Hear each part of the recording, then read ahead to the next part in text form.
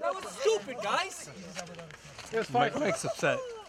Mike's just a little bit upset.